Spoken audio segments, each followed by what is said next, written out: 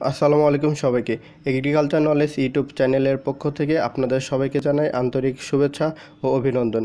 আজকে আমি আলোচনা করব পেঁপের মিলিবাগ বা সাঁতার পোকা দমনের কৌশল নিয়ে।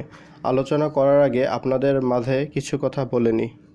আমরা অনেকেই এক দুইটি পেঁপে চারা বাড়িতে লাগিয়ে থাকি এবং যারা বাণিজ্যিক ভিত্তিতে পেঁপে চাষাবাদ করি, তারা এইরকম বড় বড় জমিতে পেঁপে বাগান করি। পেঁপেতে নানান পোকা আক্রমণ করে। যখন পোকা আক্রমণ করে, তখন কিন্তু পেঁপের গুণগত মান নষ্ট হয়ে যায় এবং বাজারজাত কমে যায়। সেক্ষেত্রে দেখা যায় বাজারে কাঙ্ক্ষিত দামটিও পাওয়া যায় না।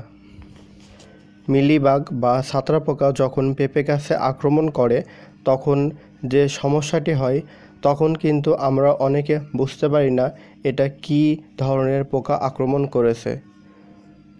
তো আমি একটু বলে নিই কীভাবে মিলিবাগ পোকা আক্রমণ করে এবং আক্রমণ করলে কী কী ধরনের লক্ষণ দেখা যায়? মিলিবাগ পোকা সাধারণত পাতা ও ডালের রস চুষে নেয়, ফলে গাছ দুর্বল হয়। পোকার আক্রমণে পাতা, ফল ও ডালে সাদা সাদা তুলার মতো দেখা যায়। অনেক সময় পিঁপড়া দেখা যায়। এর আক্রমণে অনেক সময় পাতা ঝরে যায় এবং ডাল মরে যায়। এখন আমরা জানব মিলিবাগ বা সাঁতরা পোকা দমনের কৌশল নিয়ে। আক্রান্ত পাতা ডগা ছাঁটাই করে ধ্বংস করা। গাছের গোড়ার মাটি থেকে পনেরো থেকে বিশ সেন্টিমিটার ওপরে স্বচ্ছ পলিথিন দিয়ে মুড়ে দিতে হবে, যাতে মিলিবাগ বা গাছে উঠতে না পারে। সম্ভব হলে হাত দিয়ে ডিম বা বাচ্চার গাদা সংগ্রহ করে ধ্বংস করা। জৈব বালাইনাশক নিম বিশিডিন শূন্য দশমিক চার পার্সেন্ট ব্যবহার করা।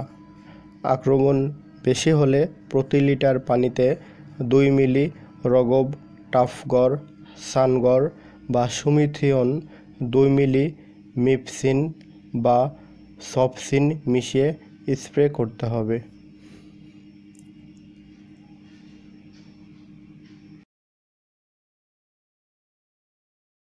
আশা করি আমার এই ভিডিওটি আপনারা সবাই দেখেছেন। আমার এই ভিডিওটি যদি আপনাদের ভালো লেগে থাকে, তাহলে অবশ্যই লাইক এবং কমেন্ট করবেন এবং আমার এই চ্যানেলটি অবশ্যই সাবস্ক্রাইব করবেন। ধন্যবাদ সবাইকে।